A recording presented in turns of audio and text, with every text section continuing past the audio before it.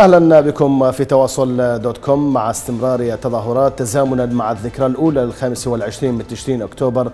استشهد متظاهرين اثنين أحدهم بعد سقوطه من جسر الجمهورية إثر استهداف المتظاهرين بالقنابل الصوتية من قبل القوات الحكومية. والثاني برصاص القوات الحكومية يأتي هذا القمع الحكومي بعد استمرار التظاهرات من على جسر الجمهورية صباح اليوم وتصعيد متظاهري تشرين في الذكرى الانطلاق الأولى للثورة. دعونا نتابع جانبا من قمع القوات الحكومية لمتظاهري ساحة التحرير.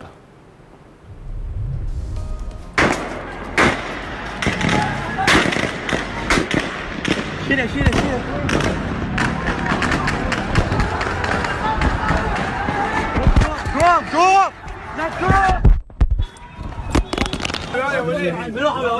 منو يا؟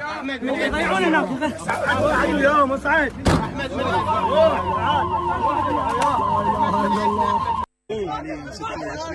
هذا شهيد 26 10 22 شهيد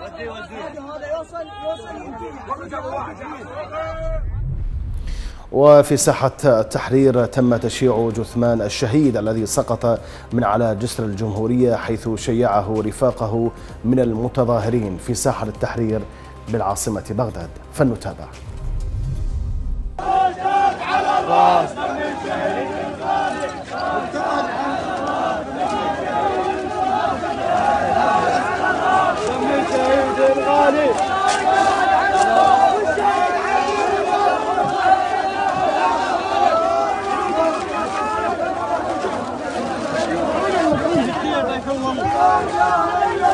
لا اله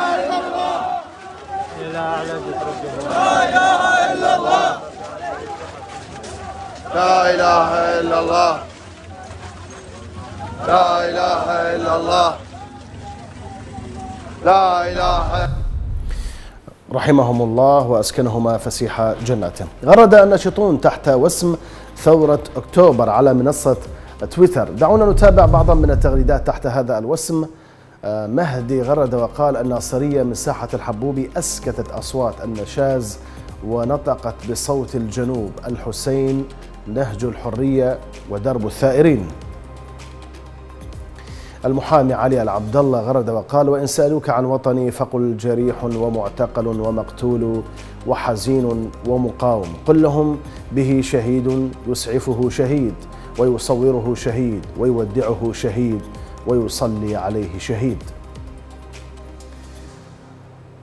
آه مظفر قال كل جوانب تشرين مضيئة بثباتها وشهدائها إلا أن ذيول الأحزاب لينالوا من تشرين لن ينالوا من تشرين آه، يظهرون أفعال أولاد الأحزاب والمسوسين من قبلهم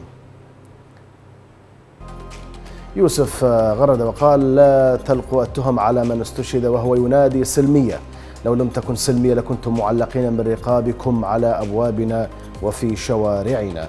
ثورة أكتوبر عراق بلا ميليشيات. لنساء الناصرية مواقف مشرفة كرجالها في ساحات التظاهر والاعتصام وكان لهم مواقف سجلوها بحضورهم القوي في مليونية الخامس والعشرين من تشرين وصوتهم الذي يسمعه جميع أحزاب السلطة الفاسدة. فلنتابع المقطع التالي من مدينة الناصرية.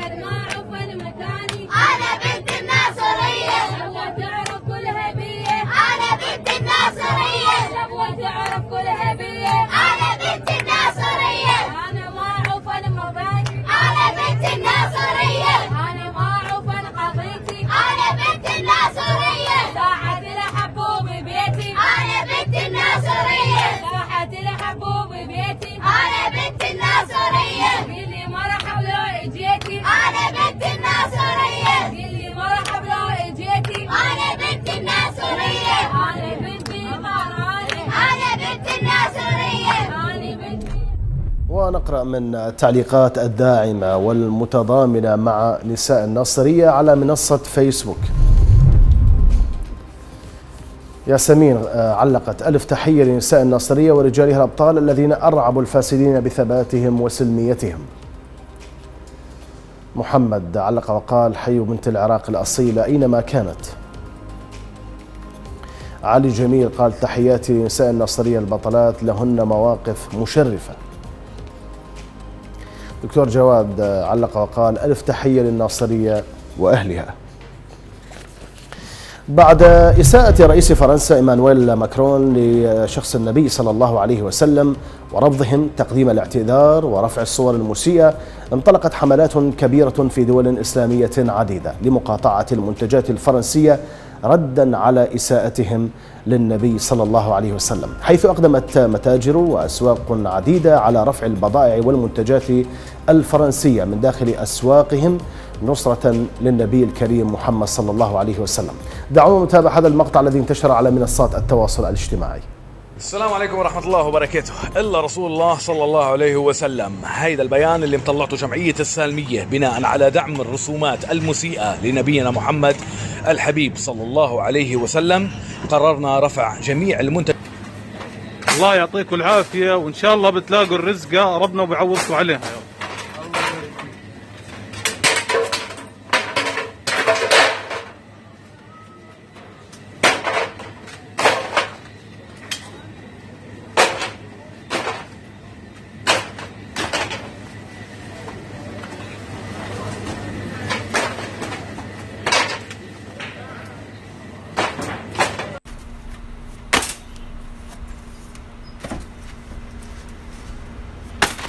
مقاطعة المنتجات الفرنسية. إلا رسول الله صلى الله عليه وسلم. طبعا رفع هذه المنتجات ومقاطعة المنتجات الفرنسية. دفع يوم أمس بالخارجية الفرنسية إلى إصدار بيان ودعوة الناس والشعوب العربية والإسلامية إلى عدم المقاطعة في دليل بأن هذه المقاطعة بدأت تأتي كلها وبدأت تؤثر على الحكومة الفرنسية.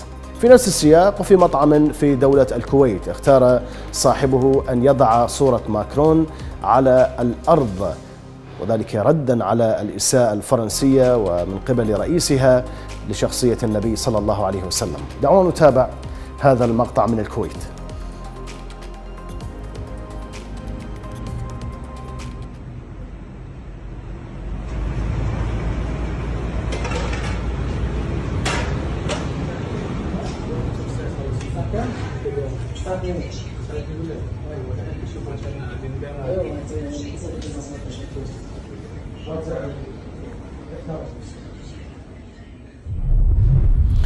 وانطلق هاشتاج مقاطعة المنتجات الفرنسية حيث غرد عليه الناشطون وتصدر الترند منذ أيام. عبروا فيه عن نصرتهم وتأييدهم لدعوات المقاطعة ردا على الإساءة الفرنسية للنبي صلى الله عليه وسلم. دعونا نتابع بعضا من التغريدات على منصة تويتر. فيصل الشمري غرد وقال الأثر الاقتصادي من المقاطعة أكثر إيلاما من ألف خطاب وكفيلة بإرغام ماكرون ومن على شاكلته بتقديم الاعتذار لكافة المجتمعات الإسلامية. يقلقهم أنها نتاج مجتمعات لا مؤسسات يمكن التفاوض معها. حاكم المطيري قال ساهم في الحملة الإسلامية العالمية لمقاطعة كل صادرات فرنسا فقد حاربت فقد حاربت الله ورسوله صلى الله عليه وسلم ودينه والمسلمين. مقاطعة البضائع الفرنسية. آه، سعيد قال الدفاع عن النبي صلى الله عليه وسلم شرف لا يناله المنافقون. فهد نايف قال يقولون ما ذنب تجا آه، تجارهم يعاقبون بفعل رجل واحد له أطماع انتخابية وسياسية. ونقول حاصر الرسول صلى الله عليه وسلم يهود بني قينقاع خمسة عشر يوما بسبب يهودي كشف عورة مسلمة. مقاطعة المنتجات الفرنسية. وفي نفس السياق تظاهرات ومسيرات احتجاجية على الرسوم المسيئة للنبي صلى الله عليه وسلم من قبل فرنسا حيث شهدت عدد من الدول الإسلامية تظاهرات رافضة ومستنكرة للعمل المشين. نعرض لكم بعضا مما انتشر على مواقع التواصل الاجتماعي ومنها في العراق وفلسطين وتركيا.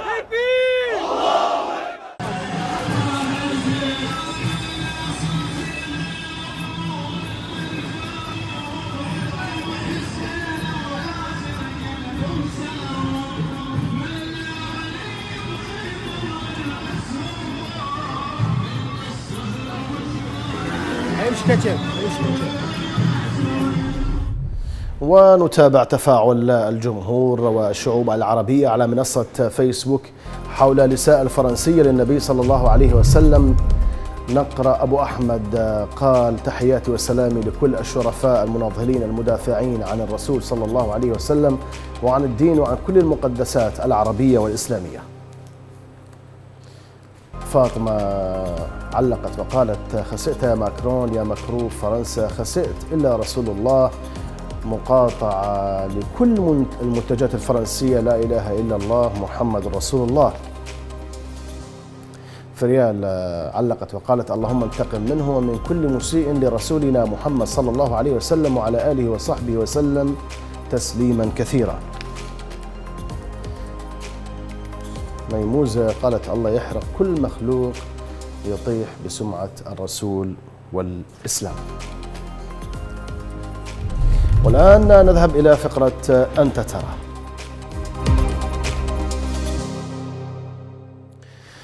وصلنا عبر خدمة أنت ترى التي توفرها قناة الرافدين لمشاهديها الأعزاء. مقطع مصور من محافظة ميسان يظهر جانبا من تظاهرات مليونية الخامس والعشرين من تشرين في الذكرى الأولى لهذه الانطلاقة. دعونا نتابع هذا المقطع.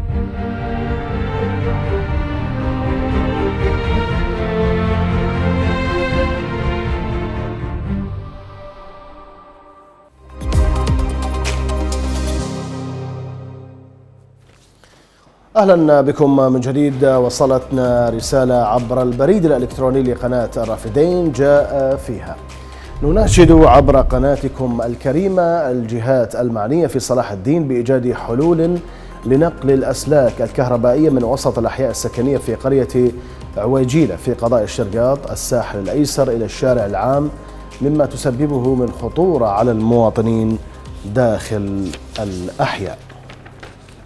والآن نذهب إلى هاشتاج.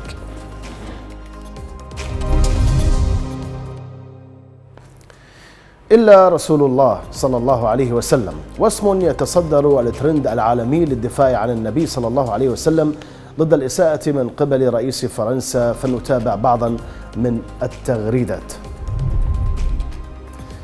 دكتور ميسر طاهر غرد وقال إلا رسول الله ستبقى يا رسول الله أعظم رجل مشى على الثرى ولن تضار صورتك مهما بعض البشر افترى. فقد كنت ولا تزال وستبقى في نفوس محبيك ليوم الورى أعظم رجل. صلى الله عليه وسلم. آه، رحمة غردت وقالت من لم يغضب من, لم يغضب لرسول الله صلى الله عليه وسلم فلا خير في إسلامه ولا خير فيه. ليس تكفيرا وإنما تحقيرا فتبا وسحقا وتعسا للحكام الصامتين أجمعين. ولعنة الله على الظالمين إلى يوم الدين. اللهم اغفر لنا تقصيرنا. عبد العزيز الزهراني غرد وقال إلا رسول الله رسولنا خط أحمر. ومن يتجاوز هذا الخط الأحمر فليبشر بأيام سوداء تنتظره طيلة حياته. منى غررت وقالت إنا كفيناك المستهزئين آية تبعث الطمأنينة بنصرة الله بنصرة الله لرسوله وهذا وعد من الله له. لا يضره المستهزئون وأن يكفيها وأن يكفيه الله إياهم بما شاء من أنواع العقوبة. اللهم عليك بالمستهزئين أعداء الدين إلا رسول الله. والآن نذهب إلى القصص المنوعة.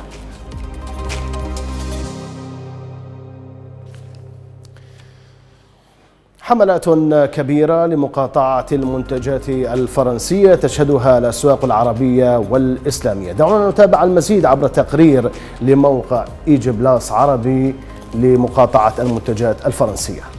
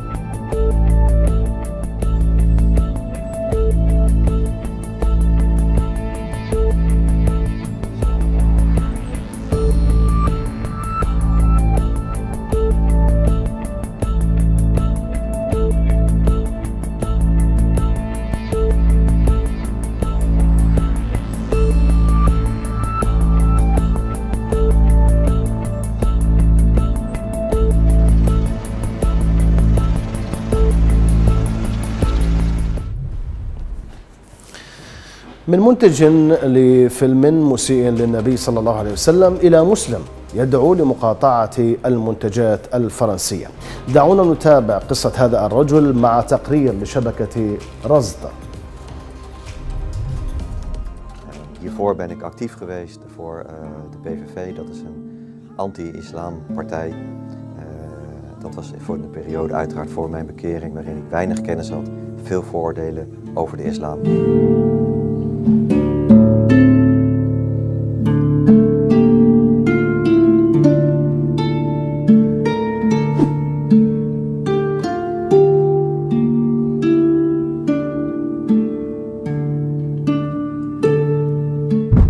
De mensen, de bevolking waarschuwen uh, voor de islam. En dat is de reden waarom wij uh, de film uh, Fitna hebben gemaakt.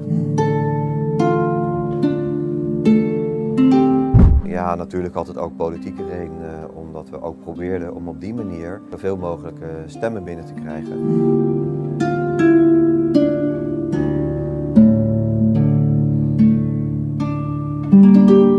En dat, dat begon bij mij wel, uh, ja, het, gaf mij wel een gevoel van, ja, er klopt iets niet. Uh, we hebben blijkbaar zoveel mensen gekwetst. En het kan niet zo zijn dat, hoeveel moslims hebben we? 1,2 miljard geloof ik of zo.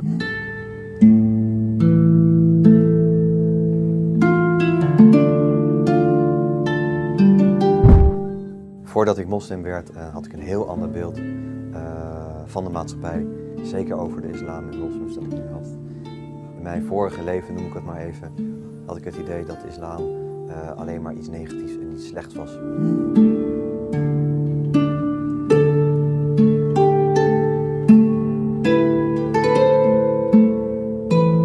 Het was een heel warm gevoel. Het was echt een gevoel, uh, ja, las het heel, heel emotioneel.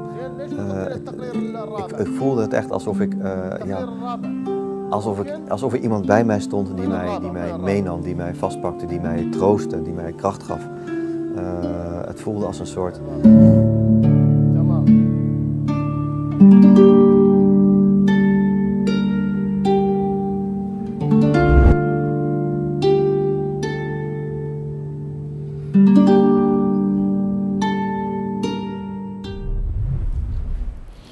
النسر الدغستاني حبيب نور يودع حلبات المصارعة ويعلن اعتزاله حيث حقق حبيب نور الكثير من الألقاب ولم يسجل ولا خسارة واحدة في مسيرته الرياضية. دعونا نتابع هذه المسيرة الرياضية مع تقرير لشبكة القدس.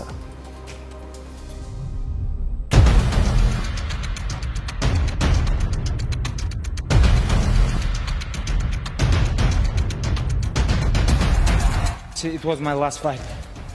And no way I'm gonna come here without my father.